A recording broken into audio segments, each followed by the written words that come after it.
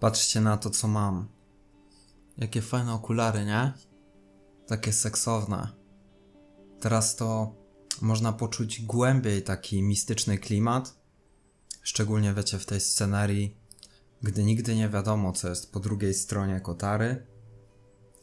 Gdy twarz jest skontrastowana. Tutaj mamy światło, tutaj mamy cień. Mamy nasz mistyczny outlook, dobra, majestatyczna muzyka w tle, jeszcze do tego kawa, ewentualnie dobre kakao i możemy zaczynać. Temat projekcji. Temat projekcji to jest moim zdaniem bardzo kontrowersyjny, bardzo mylący i często bardzo sprzeczny z tym, co my myślimy na co dzień temat, który moim zdaniem trzeba bardzo głęboko zrozumieć, żeby wiedzieć w ogóle o co chodzi w tematach ego, zrozumienia duchowości, zrozumienia cienia, czyli tak zwanego shadow ego, oraz zrozumienia tego obrazu, na który patrzysz. Bowiem projekcja dyktuje całe Twoje życie mechanizm obronny ego, zwany projekcją. Często jest to tak w sumie de definiowane w psychologii, projekcja jako jeden z mechanizmów obronnych, ale bardzo często jest to sformułowanie używane tak dosyć powierzchownie, moim zdaniem, i kolokwialnie w tematach duchowych, Często mówi się, że wszystko jest projekcją, że wszystko jest projekcją Twojego umysłu, że świat jest iluzją, że świat jest złudzeniem, że świat jest Twoim postrzeganiem, że możesz stworzyć tą rzeczywistość. Bardzo często mówi się, że wszystko dzieje się w Twojej głowie. To jest takie bardzo idealistyczne podejście, że świat jest tylko w Twojej głowie, albo taki skrajny solipsyzm, kiedy twierdzimy, że jedyną istniejącą rzeczywistość jest ta w Twojej głowie i w ogóle jesteś jedyną osobą, która żyje i która doświadcza życia. I wiecie, ten temat moim zdaniem jest bardzo ważny i ja postanowiłem potraktować go całkiem serio, ponieważ można sobie zrobić krzywdę, gdy ktoś nie rozumie tego zagadnienia i można bardzo w idealistyczny sposób podejść do duchowości, i poczuć się tak, jakbyś był oderwany od rzeczywistości, tak jakbyś był oderwany od faktów rzeczywistych, szczególnie gdy Twoja rzeczywistość mentalna zacznie ci się mieszać przed Twoimi oczami z Twoją percepcją i dosłownie dostrzeżesz to, jak funkcjonuje Twój umysł, jak w ułamku sekundy jest w stanie on zmienić Twoją percepcję, tak że w jednej chwili widzisz rzeczywistość taką, a za chwilę widzisz ją całkowicie inną. I to czasami nawet w dwóch skrajnych obrazach.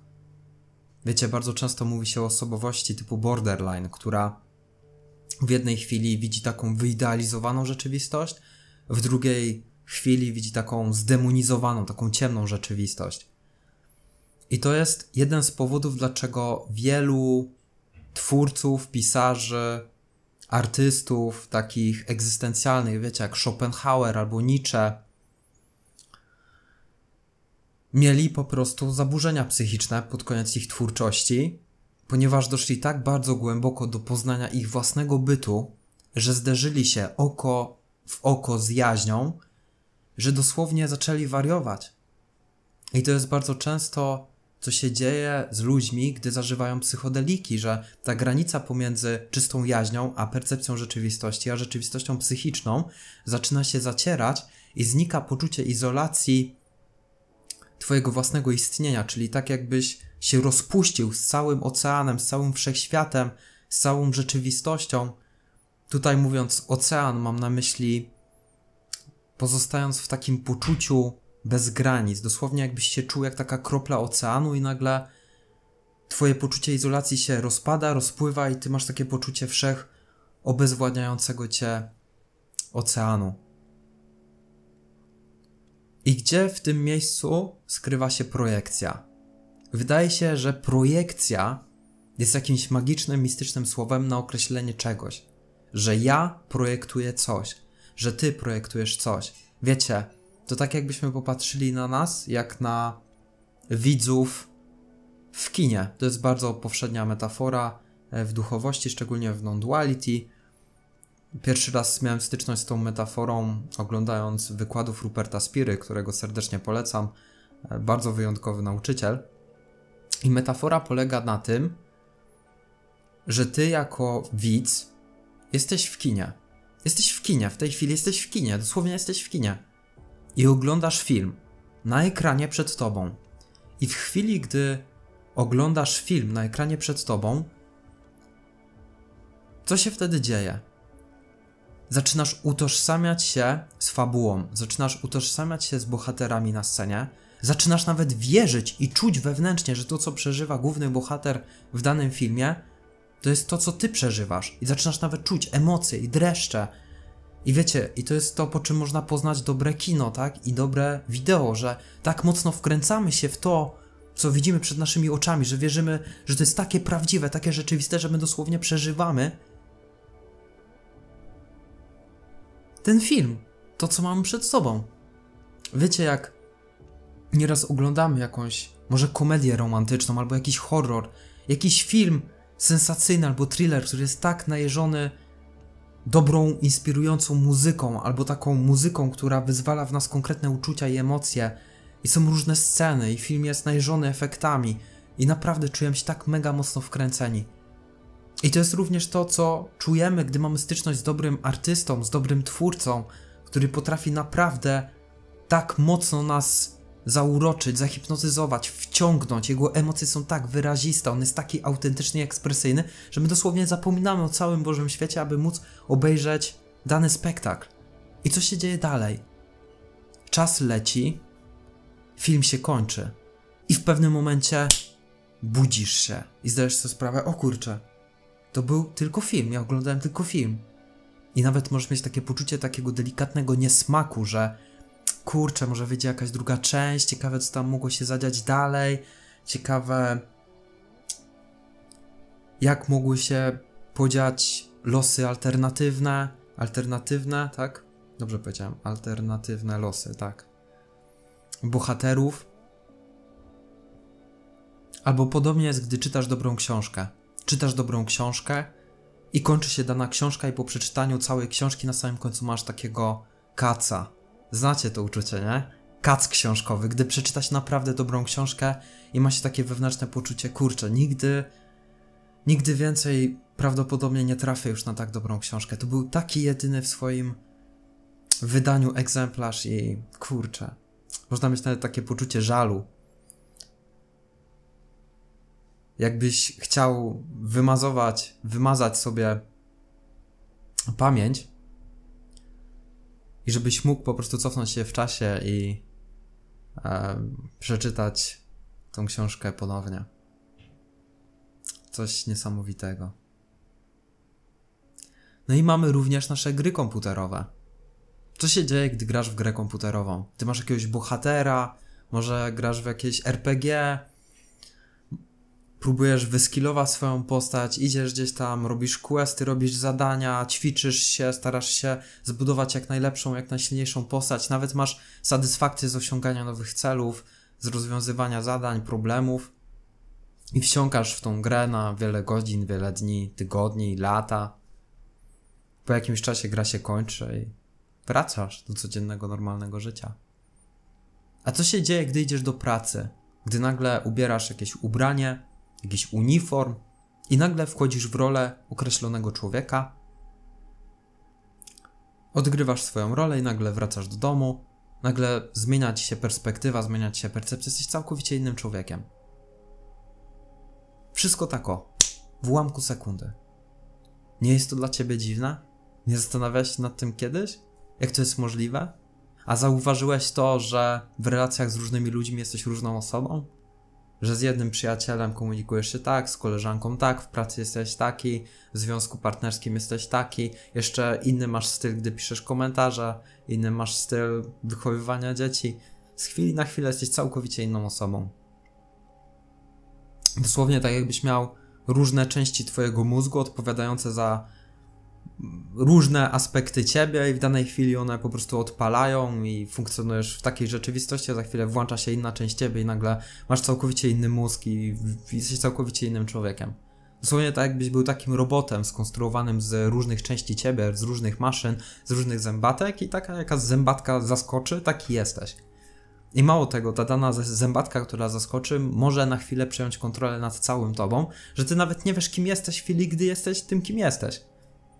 Po jakimś czasie sobie dopiero uświadamia, że gdy masz ten taki kontrast, lub masz takie poczucie głębokiej obecności, taki sens bycia całością, wiecie, jak podczas medytacji, podczas e, uważności, gdy jest się świadomym samego siebie. Można nawet ten sens uważności wyćwiczyć, gdy jest się jakąś częścią siebie i wiecie, na tym w sumie polega psychologia transpersonalna, aby zrozumieć swoje części i nauczyć się nimi zarządzać.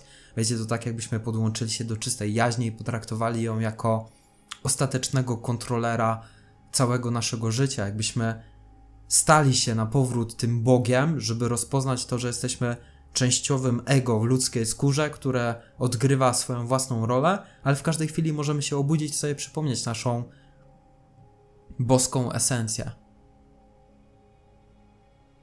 I tym właśnie jest projekcja. Projekcja bowiem nie jest tylko i wyłącznie mechanizmem obronnym, gdy ty jako człowiek widzisz przed sobą obraz i wyobrażasz sobie, że jesteś bohaterem przed sobą. Projekcja jest całym Twoim ludzkim doświadczeniem.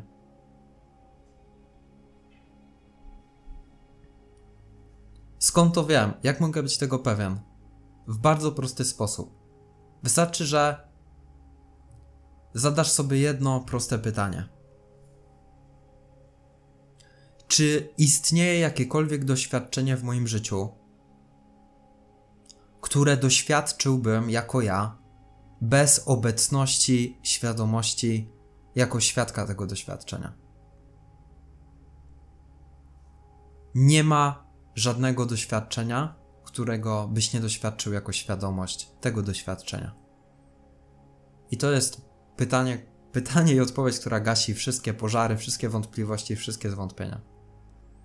To jest trochę takie aroganckie nawet z mojej strony, bo to jest dosyć mocne takie podejście typowo z Advaita Vedanty, typowo z non-duality, ale powiem wam szczerze, że nie ma innej odpowiedzi. Innymi słowy, ten obraz, który masz przed swoimi oczami, to jesteś ty. To, na co ty patrzysz, to jesteś ty. Ja nie twierdzę, że jesteś jedyną osobą, która istnieje na tym świecie, bo wszyscy inni ludzie też istnieją. Ale zgadnij co, wszyscy inni ludzie na świecie to jesteś również ty. My mamy taki sens oddzielenia, izolacji, bo ja sobie mogę powiedzieć, to jest moje, ja w to wierzę, czemuś mogę zaprzeczyć, czemuś mogę zanegować, dzisiaj będę myślał tak, jutro powiem, że myślę inaczej, Pojutrze wam powiem, że, że jeszcze coś innego. Zresztą my to robimy cały czas na co dzień. To nie jest tylko powiedzmy moja cecha, ale twoja również. Jak często zdarza ci się zmieniać przekonania, poglądy? Jak często zmieniają się twoje stany emocjonalne?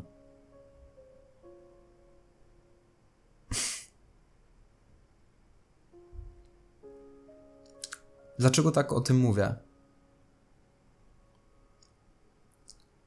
Bo po części chcę wzbudzić Was ciekawość.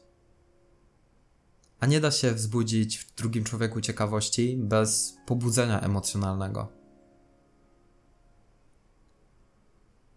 I to jest w zasadzie to, co kochają ludzie. Ludzie kochają emocje. Wiecie dlaczego? Bo to emocje pozwalają nam utożsamić się z historiami i sprawić, że czujemy się jako bohaterzy na scenie. Każdy z nas osobna. Zarówno ja, jak i ty. Bez emocji czujesz się jak martwy, czujesz się jak trup. Są takie stany uważności, gdy ma się pełną kontrolę nad emocjami, i one, te stany mogą być na początku przerażające, bo gdy zdasz sobie sprawę z tego, że masz kontrolę nad wszystkim, to jest to totalnie przerażające. I to po jakimś czasie zanika, i to się tak przekształca w drugą stronę, i ujawnia się ta druga część rzeczywistości, Czyli to taka bezgraniczna świadomość, jaźń i spokój, pokazująca nam wszystkim, że nie masz nad niczym kontroli. To zresztą e, ma często związek z inflacją ego. Opowiadałem o tym ostatnio w rozmowach z kanapy, czyli z takim poczuciem, że znikają ci granice, a potem wchodzi twoje ego na scenę i twierdzi, no, to teraz ja wszystkim rządzę, jestem taki fajny, nie?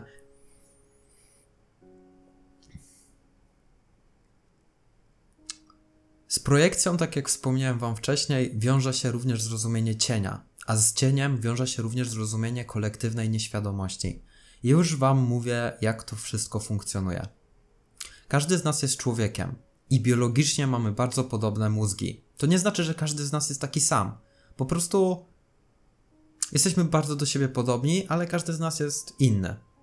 Wiecie, to jest to, co umożliwia nam na przykład zrozumienie emocji albo wspólnego języka i to jest to, co sprawia, że mamy takie poczucie, że się dogadujemy, nie? No bo nawet jeżeli jestem tylko ja, jesteś tylko ty i my rozmawiamy ze sobą i całe życie jest moją projekcją, a twoje życie jest twoją projekcją, no to i tak na pewnym polu musimy się spotkać ze sobą, bo inaczej byśmy się nie dogadali, tak? Bo doszlibyśmy do wniosku, że ja cały czas gadam sam ze sobą, wiecie, każdy mój film to jest gadanie samemu ze sobą, i wy nawet jak piszecie komentarze, to piszecie je sami do siebie i nawet jak rozmawiacie z innymi ludźmi, to każdy gada sam ze sobą, no i wiecie, życie zamieniłoby się jak taki smutny teatr, tak? Mógłbym powiedzieć, że no to naprawdę mogłoby wywołać ciężką emocjonalnie reakcję w człowieku, która no mogłaby się tragicznie zakończyć, tak jak mówiłem wcześniej, że osoby, które głęboko dochodziły do natury jaźni i badały tematy egzystencjalne, bardzo często miały e, problemy e, na tle psychicznym, tak? Miały problemy z integracją własnego ego w rzeczywistości materialnej i tego, jak tu funkcjonować na co dzień. Dlatego ten aspekt praktyczny w duchowości jest taki ważny, żeby uziemić ludzi w życiu codziennym, tak? Ale tak, czym jest kolektywna nieświadomość? Każdy z nas ma bardzo podobny mózg i my bardzo podobnie rozumiemy język. Wiecie, język jest odzwierciedleniem rzeczywistości, zawiera w sobie symbole i znaczenie tego świata, ale zawiera również uogólnienia, stereotypy, i takie formy językowe i gramatyczne, które umożliwiają nam wspólne komunikowanie się, tak? Mówiąc prościej, ja mówię po polsku, ty rozumiesz język polski, więc możemy się po prostu dogadać, ponieważ mówimy wspólnym językiem. Proste. I teraz tak, my się umawiamy. Umawiamy się wspólnie. Tak? Ja się umawiam z tobą, że ty mnie zrozumiesz, a ty się umawiasz ze mną, że mnie zrozumiesz. Dlatego kliknąłeś ten film i go oglądasz. I to wszystko dzieje się tak automatycznie, spontanicznie, niemalże. To jest to, co nazywamy, że jest rezonans, nie? Że ja udostępniam jakąś treść, ty czujesz, że ona jest fajna i sobie razem lecimy. Oglądamy siebie, swoje projekcje. I teraz w społeczeństwie umawiamy się, że coś jest normalne, a coś nie jest normalne. I umawiamy się na przykład. No, Damian, jak będziesz podnosił swój ton głosu, będziesz bardzo arogancki, e, będziesz taki, siaki, uwaki, no to to jest zło. No, Damian, jeżeli będziesz się na przykład wywyższał, albo będziesz próbował coś tam wyczarować, to to też jest złe. I umawiamy się, co to jest dla nas zło i co jest dobro. I my się umawiamy tak na takim subtelnym, nieświadomym poziomie. Umawiamy się na wielu płaszczyznach, umawiamy się w wielu kontekstach i my na co dzień nawet nie musimy o tym rozmawiać, ponieważ to się dzieje z tyłu za naszymi plecami i nam się wydaje, że nie jesteśmy tego świadomi. Na razie nam się to tak wydaje, do momentu, w którym nie zderzymy się z tym, że musimy wziąć odpowiedzialność za tą część nas, której nie chcemy.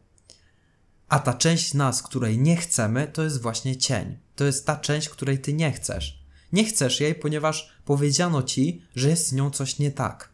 I to jest ta część, którą hodujemy w sobie jak takie małe zwierzątko z tyłu naszych głów od samego dzieciństwa, gdy rodzice mówią nam: Nie powinieneś się gniewać, nie powinieneś się złościć, nie powinieneś mieć negatywnych myśli, to jest bardzo często w duchowości, nie powinieneś się masturbować, Powinieneś nie być egoistą, w ogóle, o Jezus Maria, w ogóle o ego to nie ma nic do gadania, nie ma żadnego ego, nie powinieneś być egoistą w ogóle. A jak chcesz być duchowym nauczycielem, to lepiej o tym nie wspominaj, bo powinieneś być przecież pokorny. I umawiamy się po prostu, tak? Umawiamy się, my, my się po prostu umawiamy. Nikt na ten tematy na co dzień nie rozmawia, dopóki nie zostaną one wyjęte na powierzchnię, czyli tak zwane oświetlone. I ten proces oświetlania tego, czego nie chcemy wiedzieć o nas samych, nazywamy shadow work, czyli pracą z cieniem. I projekcja z punktu widzenia psychologii cienia oraz z punktu widzenia psychologii samej sobie, to jest ta część siebie, którą projektujesz na zewnątrz i widzisz ją w rzeczywistości zewnętrznej jako coś, co jest od ciebie oddzielne. Przykładowo, możesz mieć taką projekcję, że ktoś cię oszukuje, ponieważ sam kogoś kiedyś oszukałeś i teraz masz takie poczucie, że ktoś inny może cię oszukać i robisz to czysto nieświadomie. Albo wewnętrznie wypierasz się mocy i władzy i masz takie poczu poczucie, że jak będziesz sprawował kontrolę nad swoim życiem, to inni cię ocenią to, to, to jako egoistyczne, więc się tego wypierasz, stajesz się pasywny, bierny i uległy, ale za to u wszystkich innych ludzi, którzy potrafią zadbać o swoje własne potrzeby, widzisz, że oni są egoistami. To jest bardzo częste, ludzie bardzo często projektują E, to się nazywa syndrom guru, nie? Że ludzie projektują na innych, że oni są guru, że oni się wywyższają, są aroganccy, e, a sami po prostu wypierają się władzy czy tej kontroli w swoim własnym życiu. I możecie tutaj dostrzec ten taki wspólny kontekst, ponieważ ja poruszam tematy, które są bardzo stereotypowe, e, bardzo ogólnikowe. I to jest właśnie to, co uwielbia ego. To jest właśnie to, co uwielbia projekcja, i to jest to, co dotyczy głównie cienia. To są wszystkie te rzeczy, które wyrzucamy na zewnątrz nas, twierdząc, że to nie jest nasze i nie dotyczy nas, ale to zawiera się wśród innych ludzi, jest u innych ludzi, no bo w sumie jak to nie dotyczy mnie, no to mniejszy ciężar mam na sobie, w sumie święty spokój. Przynajmniej tak się wydaje ego. Do momentu, w którym poczuję jakąś głęboką dysharmonię albo brak spójności na linii ja-rzeczywistość, pojawią się jakieś problemy, braki, e, cierpienie, tak? Cierpienie. Cier cierpienie bardzo szybko uświadamia, uświadamia nam nasze wyobrażenia, nasze projekcje, to co myślimy o świecie. Wiecie, częścią projekcji jest na przykład wyobrażenie Boga, symbol Boga. E, to jest świetny temat. Patrzcie na to. Gdy ktoś wchodzi na ścieżkę duchową, bardzo często jest tak, że zaczyna idealizować innych nauczycieli. To jest tak powszednie, że się w głowie nie mieści. I ktoś, taki adept duchowy, idealizuje jakiegoś nauczyciela, traktując go jako takie wyobrażenie jakiegoś nadczłowieka, nadając mu takie cechy wręcz boskie. I teraz Taki człowiek, idealizując takiego nauczyciela, udaje się do niego. Może jedzie gdzieś do ashramu, może nawet do Indii, może nawet kupuje jego książki, może nawet siedzi na YouTubie i ogląda tonę jego wideomateriałów.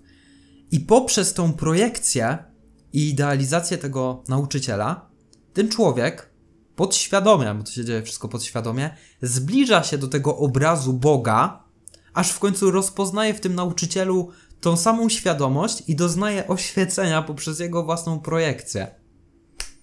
Rozumiecie to? To jest cudowny mechanizm. W zasadzie, gdyby nie ten mechanizm, e, ludzie by się od siebie nie uczyli. Nie byłoby tylu, tylu nauczycieli duchowych i tylu uczniów wśród nich samych.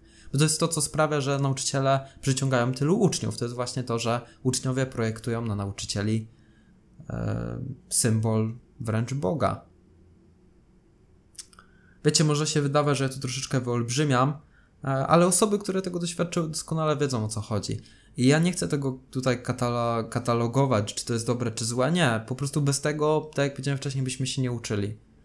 W zasadzie w skład projekcji wchodzi wiele atrybutów ciebie, bo to jest to, co ty postrzegasz jako ty, jako ja, jako ja tutaj. W zasadzie to nawet twoje ciało jest projekcją. Zauważyłeś to? Że gdy skupisz się na percepcjach swojego własnego ciała, to oprócz świadomości twojego ciała nic więcej nie ma? Masz koncepcję swojego ciała i świadomość bezpośrednią swojego ciała, którą jest czysta, nieskończona percepcja.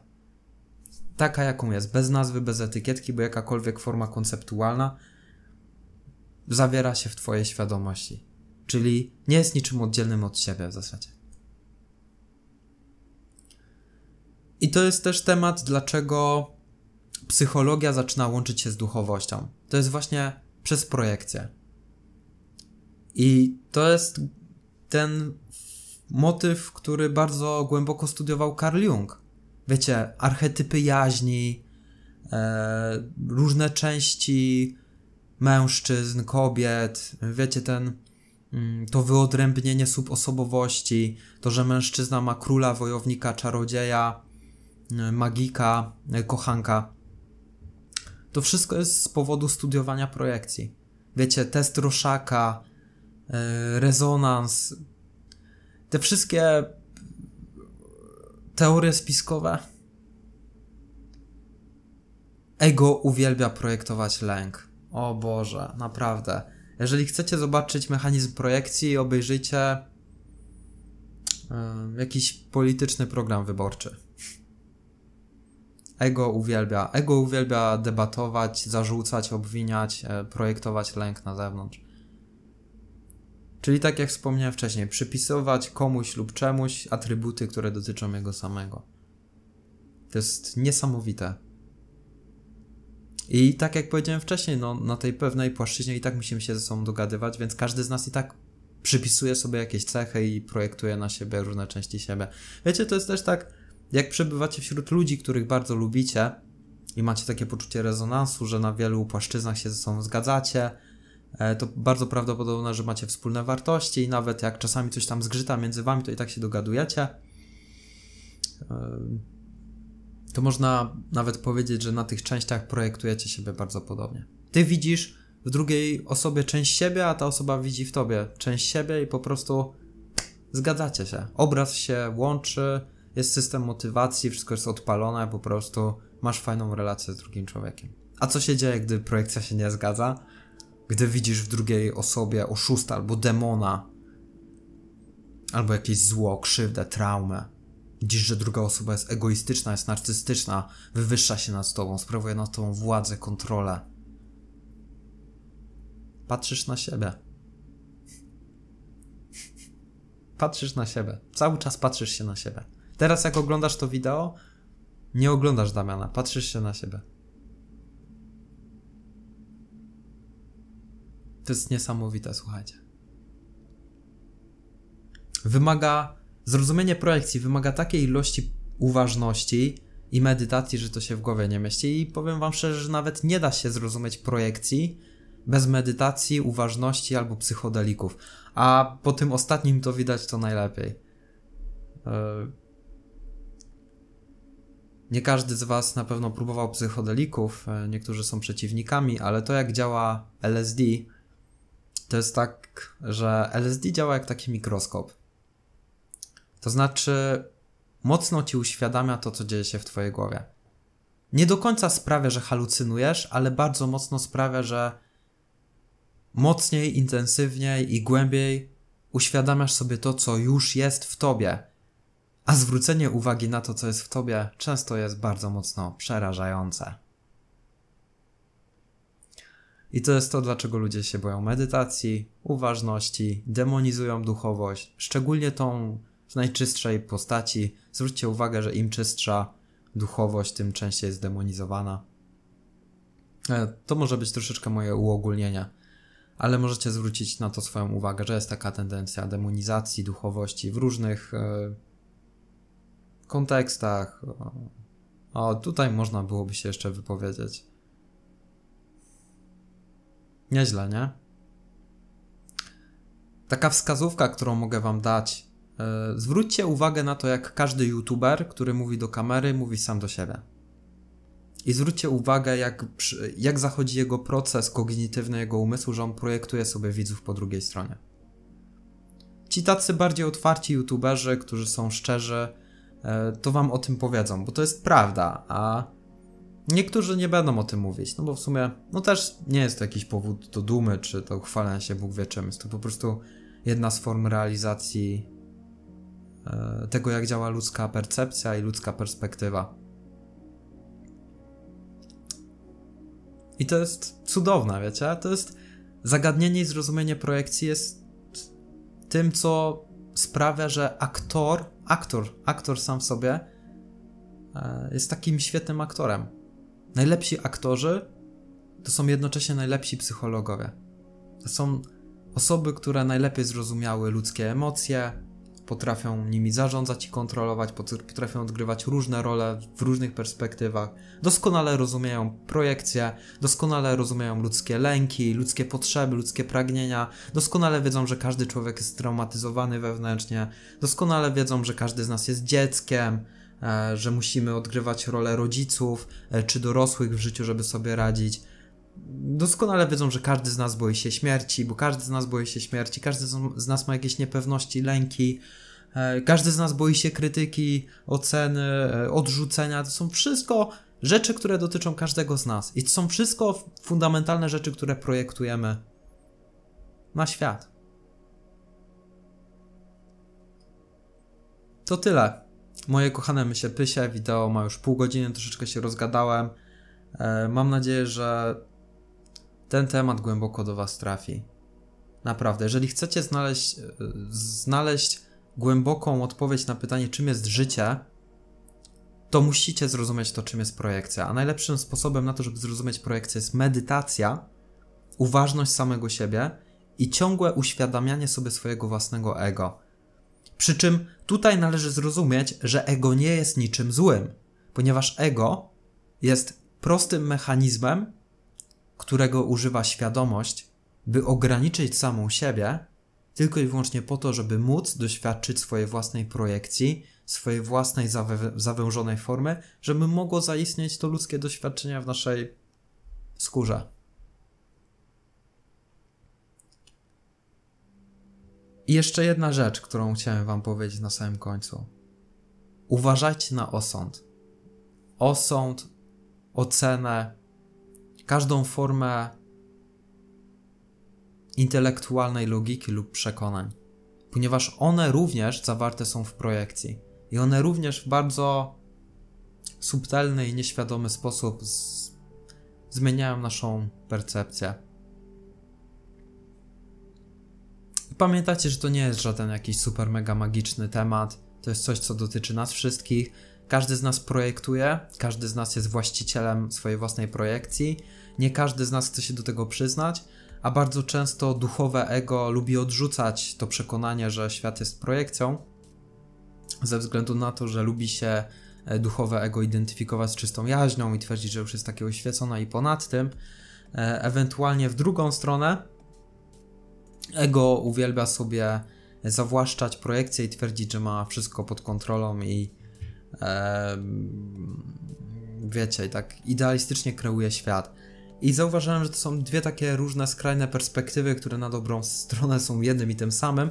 I to jest to, co z dualizmu robi się non-duality. Bo jak pójdziesz w jedną stronę albo w drugą stronę, to wyjdziesz po tej samej stronie, bo prędzej czy później będziesz musiał sobie uświadomić drugą stronę. A gdy uświadomisz sobie obie strony, to masz całość, to masz jedność, masz dokładnie non-duality. To tyle, jeżeli chodzi o ten film, to tyle, jeżeli chodzi o to nagranie. Mam nadzieję, że fajnie wytłumaczyłem Wam to, czym jest projekcja. Jeżeli czujecie się usatysfakcjonowani, dajcie dla mnie łapkę w górę, jeżeli nie, dajcie łapkę w dół. Chociaż nie wiem w sumie po co mielibyście to robić. Choćby nawet dlatego, bo założyłem dzisiaj fajne, seksowne okulary, za co wiecie, możecie dwie łapki dać w górę, możecie zalogować się na dwóch różnych kontach i dać specjalnie dwie łapki w górę. Tak. Napiszcie komentarz, zostawcie swoje przemyślunki i widzimy się w kolejnym nagraniu. Do zobaczyska. Miłego. Elo. Buźka.